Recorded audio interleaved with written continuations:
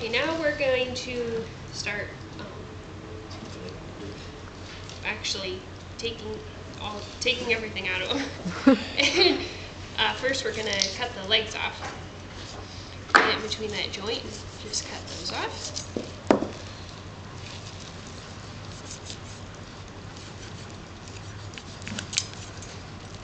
If we can find it. Sometimes that's kind of tricky. Okay, so there's that part.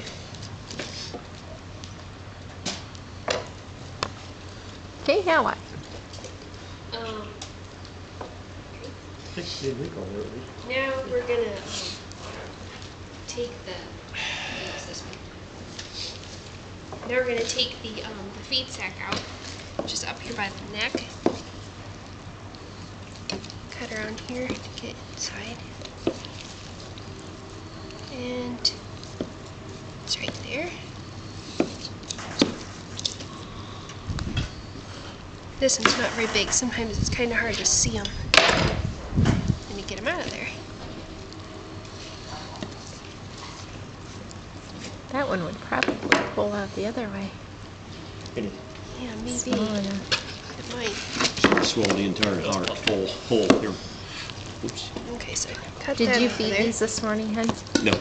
Okay, that's why their feed sacks are small. Actually, what we've been doing is not pulling them up from the front, pulling them up from the back. Yeah, I like to do that too. oh, do you? I didn't know you did it. Mm-hmm. So there's that Unless they're full. Mom's got the old Now we're trick. gonna go ahead and take the inside. out.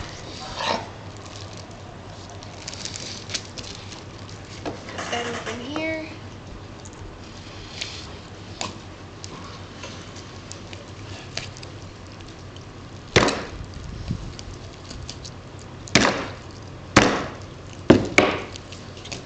Just gotta cut this open wide enough to get to the inside.